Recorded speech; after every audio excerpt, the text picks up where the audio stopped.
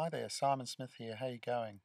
I'm just sitting down here at the park um, this afternoon. Uh, other people are still at work, but I'm watching my my son uh, practice uh, for the state schoolboy rugby, and it's an absolute joy to be able to spend your time with kids.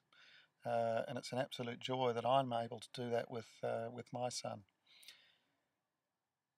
This um, uh, opportunity has really only come about because uh, I have a, a, network marketing lifestyle uh, and one where uh, my income comes in every single month.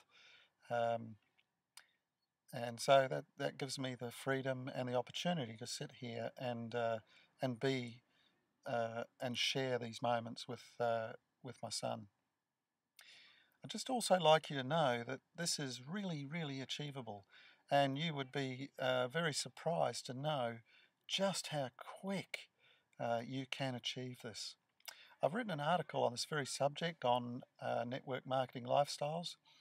Uh, so if you'd like to hop over to the article that you'll see come up on the bottom of this uh, short video, I'm sure that you will not be disappointed in having gone across to have a quick read of that.